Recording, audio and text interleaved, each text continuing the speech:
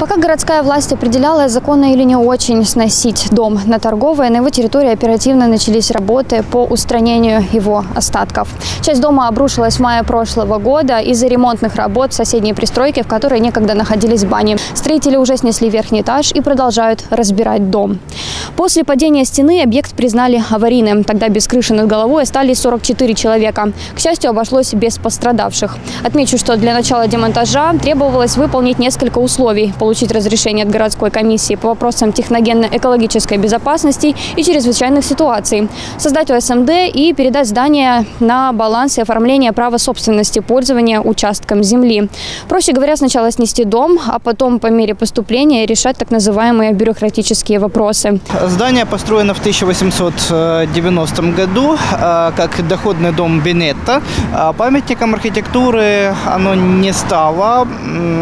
Я не знаю, по каким критериям его не включили, но у нас был полный бардак вот в то время, когда массово э, памятники архитектуры принимались под охрану, и очень многие объекты, они выпали из э, списка. Если это не памятник архитектуры, то ничего не нужно. Можно просто с- снести любой дом. Если это памятник архитектуры, его нужно сначала вывести из э, охранного списка. Это, э, это чуть-чуть э, э, замедляет процесс, но в- выведение памятника из списка намного проще, чем наоборот включение нового объекта в охранный список памятников. За нарушение правил безопасности во время выполнения ремонтных работ в банях по соседству было открыто уголовное производство по факту возможного их влияния на обрушение. Жильцы дома на Торговой заявляли, что с осени 2019 года били тревогу о последствиях. В ответ – молчание. Печальный результат не заставил себя долго ждать. Глядя на нынешние руины, одесситы тепло вспоминают дни, когда могли видеть здание в первоначальном виде. Здесь такие старожилы жили. Единственное, что моя нижняя соседка всегда мне говорила, Наташа, надо уезжать от этого дома, потому что э, э, баня, что-то там течет под наш фундамент. Она всегда так говорила. Но я уже уехала, уже лет 20, уже, ну, может, чуть меньше. Такое ощущение, как будто кусок меня отпиливают. Потому что все вот эти высотки, они обезличивают город. И уничтожает нашу историю. Если вы подрезаете свою историю, свои корни, у вас ничего не останется. Понимаете, вы будете человек без истории, без родины, без всего. Компания, проводившая ремонт на месте общественной бани по соседству, выкупила все квартиры дома на Торговой и пообещала не портить исторический центр очередной высоткой. В Приморской райадминистрации заверили, что мэрия продолжает переговоры с застройщиком. Видимо, городская власть еще сама не до конца уверена в том, что в центре Одессы не вырастет очередной бетонно-металлический гигант. Ухудшение погодных условий. Сначала дожди э, осенние, теперь мы ожидаем осадки в виде снега, э, изменение температуры. Мы прекрасно понимаем, что это все негативно влияет на аварийное здание, которое невозможно восстановить. И э, из-за такой отсутствия перспективы восстановления здания было принято решение для безопасности жителей нашего города его демонтировать.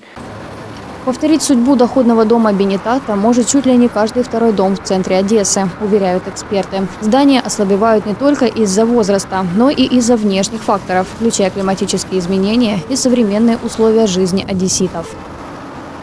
Практически все в историческом центре.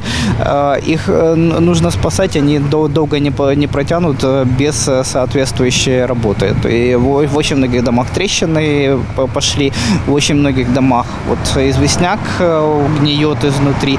А, Первоначально нужно комплексно и обследовать каждое, каждое здание в историческом центре Одессы. И если это здание постройки вот конца 19 века или начала 20 века, все эти здания нужно а, исследовать и должны исследовать специалисты, которых у нас в Одессе просто нету. Одесса постепенно погибает. Все ценности, которые были, они, э, в принципе, исчезают. Это очень плохо, потому что мы куда возим э, туристов, когда к нам приезжают? В исторический центр. Нам сегодня нечего показывать современной архитектурой. То, что здесь в Одессе строится, это по, так сказать, тому, как не, не нужно делать. В историческом центре надо делать, строить здания на, на конкурсной основе. То, есть, чтобы проекты разрабатывались Значит, комиссия специальная, которая будет им заниматься, включая Союз архитекторов, рассматривать эти проекты и давала добро.